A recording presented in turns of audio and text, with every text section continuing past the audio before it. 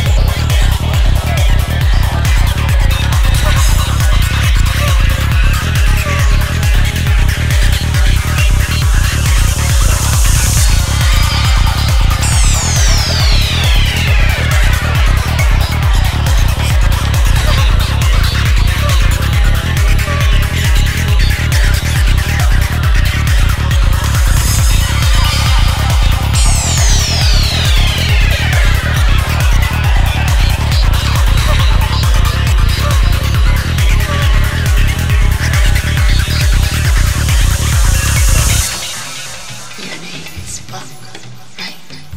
And you came here to fuck, right?